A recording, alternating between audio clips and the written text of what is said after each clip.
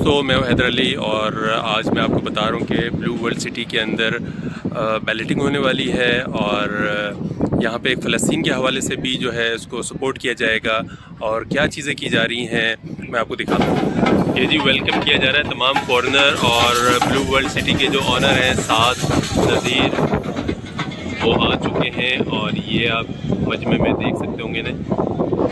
अच्छा इस वक्त आप ये स्टेज पे देख रहे होंगे कि तमाम फॉरेनर यहाँ बैठे हुए हैं, साथ नज़ीर और उनकी टीम भी पंडाल में मौजूद है और लोग भी आ चुके हैं जो इनका बलेटिंग का इवेंट होने जा रहा है।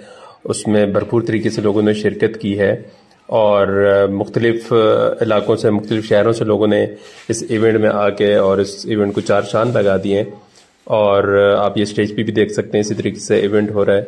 और फिर फ़लस्तीन को सपोर्ट करने के लिए लोगों की बड़ी तादाद निकली है। और बच्चे, बड़े, बुज़ुर्ग खातन सबने इस इवेंट में अपनी तरफ़ से जो है बढ़ चढ़ कर हिस्सा लिया है।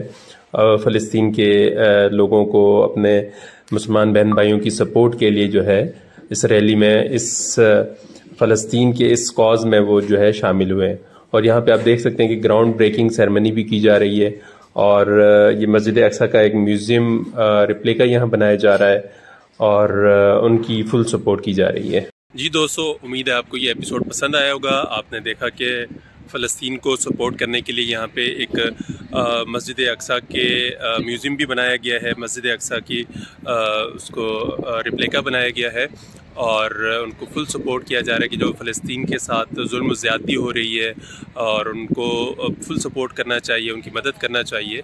तो उम्मीद है आपको ये एपिसोड पसंद आया होगा।